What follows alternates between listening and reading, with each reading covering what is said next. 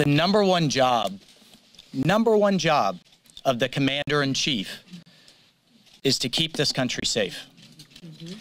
And yesterday, Joe Biden literally threw the Ukrainian people under the bus by hedging and essentially, according to the Ukrainian foreign minister, giving uh, given the Russians a green light and given Putin a green light if they only make a minor incursion. Words matter when you're in this type of crisis, and words matter when you're standing at the presidential podium. Now, he may have used his team to try to spin and backtrack afterwards, but Putin got the message, the Kremlin got the message, the Ukrainian people got the message.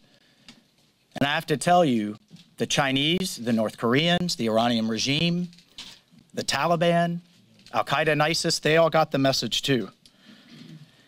And in Ukraine in particular, instead of using deterrence, instead of stopping this aggression on the front end, we continue to hear about how tough President Biden's going to be after Russia invades. I was just out uh, in Ukraine a month ago, and I have to tell you, talking to Ukrainian officials, you know, they said, thanks a lot.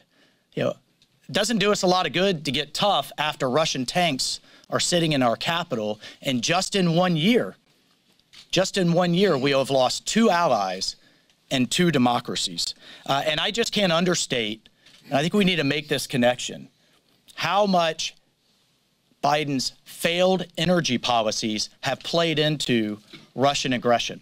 By shutting down pipelines here, by regulating fracking, by stopping drilling of American oil and gas companies, he has enriched Putin's oil and gas companies. Every time you see that price of oil, that barrel go higher and higher, Putin gets richer and richer and more and more uh, aggressive. He has also said, he said just yesterday, he makes no apologies for his decision on Afghanistan. I can think and point to you right now tens of thousands of Afghans, freedom loving Afghans, who stood with us against extremism.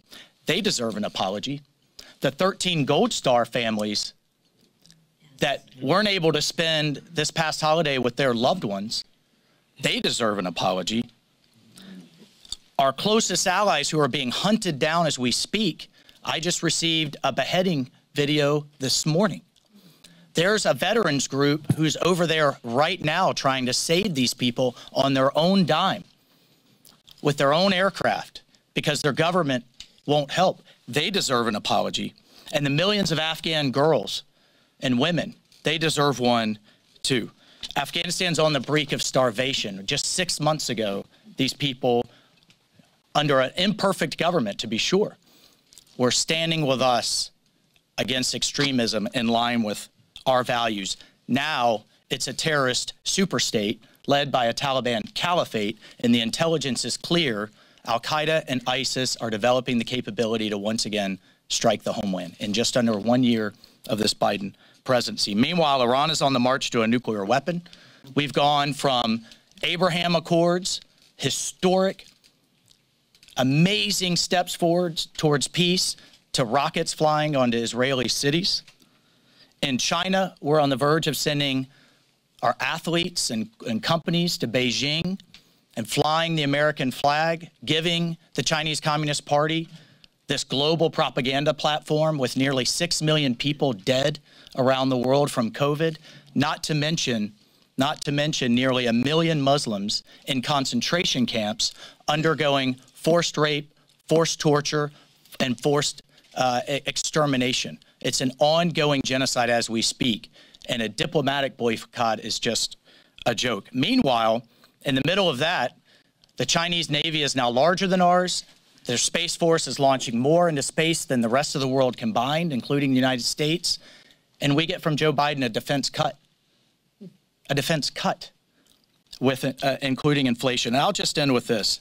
I think this president has the worst human rights record of any modern American presidency. And you may think that's an over the top statement, but when you have, according to international NGOs, 30 to 40% of girls being sexually assaulted or sold into human trafficking on our southern border, when you have, again, the forced rape, mass rape, and sterilization of women in the Uyghurs, just ask the Afghan girls and just ask the Cuban people who heard nothing but silence from this White House as they stood for freedom.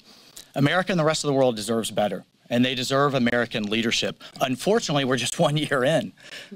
We have three years to go, but I don't think we can realistically expect anything but more of the same because the same team that was around then Vice President Biden and around Obama is now leading uh, our national security approach, and it is a fundamentally flawed approach of America last and concessions first. And our adversaries see that as weakness, and they see that as opportunity.